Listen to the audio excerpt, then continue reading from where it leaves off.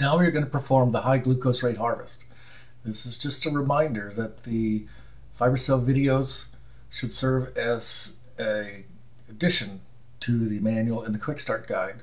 And it is important to follow all of the protocols and methods demonstrated. So we're going to perform a high glucose rate harvest. The high glucose rate harvest should be performed when the glucose uptake rate is between a gram and a gram and a half per day. It serves two functions. One is to help control the cell mass within the cartridge, and the second is to keep the pores in the fiber open for good nutrient and waste product exchange. So first we're going to attach some fresh syringes to the cartridge, being sure that we utilize good sterile technique.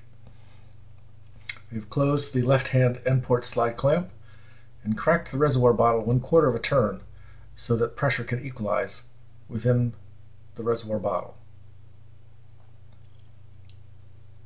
So we have one syringe attached. Again, we'll use good sterile technique, plenty of alcohol.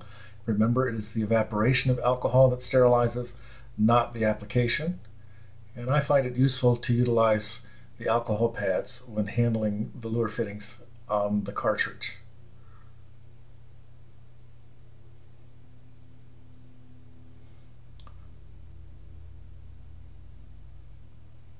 So now what we're going to do then is open the side port slide clamp of one of the syringes. We have the left end port slide clamp closed. The right is open.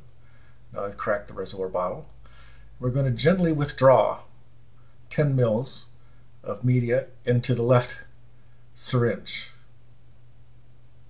It doesn't matter which one we do first. What we're doing is pulling media out of the reservoir bottle through the fibers and into the syringe. Close the left side port slide clamp, open the right, and again withdraw gently 10 mils of media out of the reservoir bottle through the fibers and into the syringe.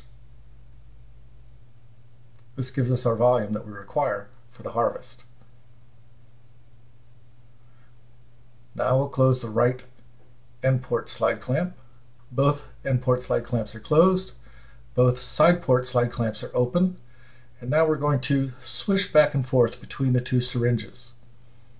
The higher the glucose uptake rate, the more times we want to swish back and forth. Anywhere between three and five times. The more times we swish back and forth, the more cells we will remove. Keep in mind that we have diluted the product by 50%, so the high glucose rate harvest is typically preceded by the low glucose rate harvest. Generally, we want to perform this at least once a week, even if the glucose rate is not above a gram per day, in order to keep the pores of the fiber open. And when we do this, then we can simply inject the cells back into the cartridge. If we're performing a harvest with the 5 kD molecular weight cutoff, we want to add 10 mils of volume to the syringe so we have some volume to work with. It's difficult to get more than a mil withdrawn into the syringe with a 5 kD. After we switch back and forth, we put all of our ECS harvest into a syringe, one side, it doesn't matter which one. And we're going to collect our harvest into a 50 milliliter conical tube and replace the syringe. I find it easier just to simply utilize the syringes as Luer caps instead of replacing the Luer caps onto the cartridge.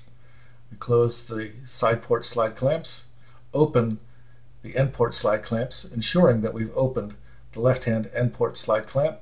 And I always like to give the pump tubing a little bit of a squeeze a couple of times just to make sure that we have good fluid flow through the insides of the fiber in the cartridge. So this represents the high glucose rate harvest. Please feel free to contact FiberCell Systems with any questions.